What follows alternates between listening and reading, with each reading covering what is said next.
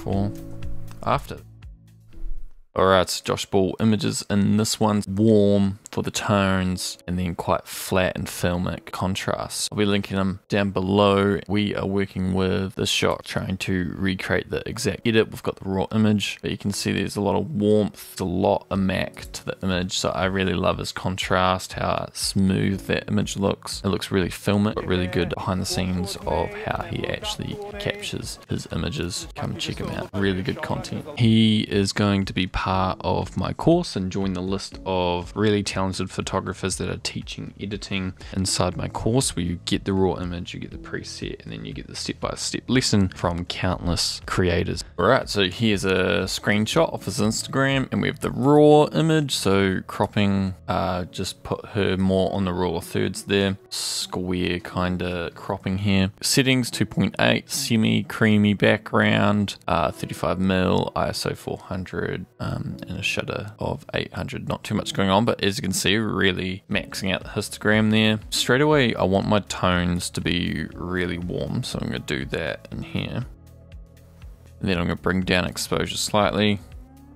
And if you're inside the course, you get the raw image to follow along in this lesson with countless other raw images and DNGs for you to download. Highlights, look at that cloud shape we get when we bring the highlights down, a bit of vibrance and a bit more color. So curves are gonna play a big role in the texture and the fade and the, the look of this image. So turning on the curves, this is the curves I went with. So as you can see, we're really fading out background, uh, the whites and highlights there, capping them off. And then we've got this fade, the shadows here, the blacks, and then this one is doing something similar. So up here we have to bring up the blacks because we can't see anymore. So let's bring these up, a bit more shadows so we can see even more, and a little bit of whites for some pop, contrast.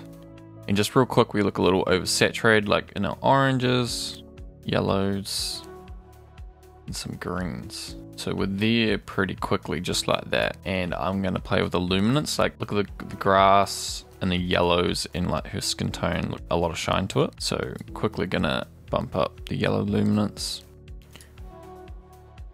And then the blue water has a lot of color in it. So I'm gonna try to bring it down luminance. It will like flatten it, maybe make it look a bit more saturated and bring out the colors and then just bring them up in saturation as well. And then we want them to be more of a teal. Same with the aquas. Yeah, but we're going to come into split toning and I just want like more yellows in the highlights. Can see, definitely see that. So in the highlights, I'm going to put in quite a bit of warmth and then in the shadows, we're going to have a nice blue here just to cool off the shadows a touch. That really helps our tones. Um, maybe a tiny bit of sharpening.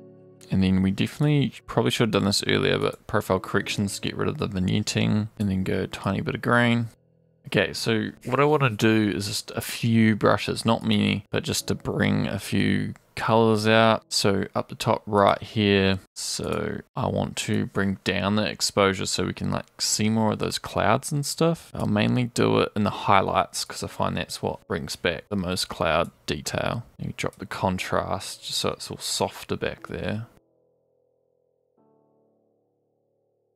Whites for a bit of a punch or a glow back there.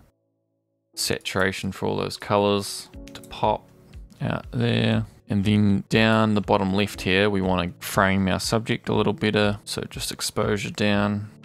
And then I think just one more. So this one here, we're brushing over all the dirt here. And I think we have brought out all the redness a lot. We can bring out the redness by adding warmth in and then some purple. That really makes purple tones and the red, the um, dirt really stand out.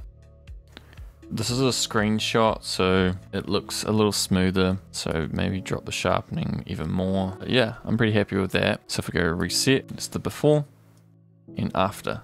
Is our before, after. So I love this kind of style, the film style. Um, yeah, I'd say the biggest takeaways is maybe the curves. If you want to know really in depth about the curves during the course because we go really in depth on what's happening in the, in the curves, why you would choose different curves and stuff like that. But I'd say they're playing a big role in this image for that smoothness. Highlights kinda to bring back all that detail and flatness. Exaggerating the tones, making it a bit warmer, split toning. A little luminance to bring out the brightness of some colors. And then yeah, just getting the right saturation to them all. And then not too much in the, in the hues. The masks played a bit of a role. So if we go delete all masks, without masks, and then with them, or after, that's it.